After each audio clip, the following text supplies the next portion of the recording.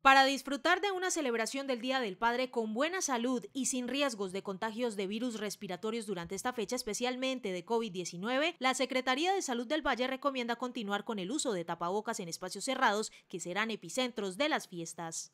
Mi recomendación es seguir usando el tapabocas. El tapabocas no incomoda, es una barrera de protección para proteger a los demás y de pasada protegernos nosotros. Lo pueden eh, quitárselo cuando estén en, en, el aire libre, en espacios muy abiertos, en la calle, pero cuando uno entra a lugares cerrados, almacenes, a centros comerciales, debe usarlo.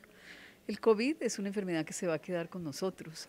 Tenemos además una gran cantidad de personas con influenza. Además de enviar un mensaje de felicitación a los padres de familia vallecaucanos por su día, el gobierno departamental insiste en la vacunación y el autocuidado como método de protección se debe convertir en una constante el lavado de manos, eso que aprendimos a través de la pandemia, y también que la persona que tiene cuadro gripal se quede en casa, cuando sale usa tapabocas.